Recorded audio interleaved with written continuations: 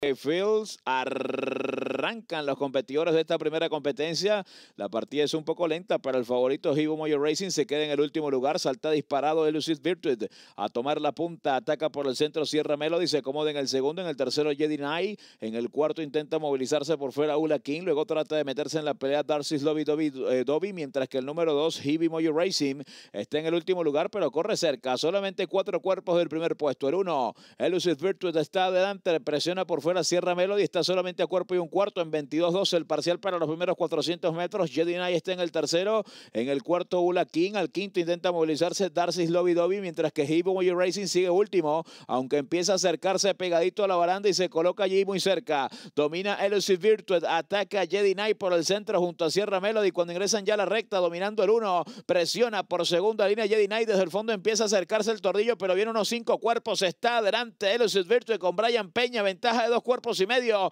En el segundo, Jedi Knight. En el tercero aparece Sierra Melody, pero les gana el uno de punta a punta en gran carrera de Brian Peña. Ganó Elusive Virtue número uno. En el segundo para Jedi Knight, tercero Sierra Melody, cuarto para Hippie Moyo Racing.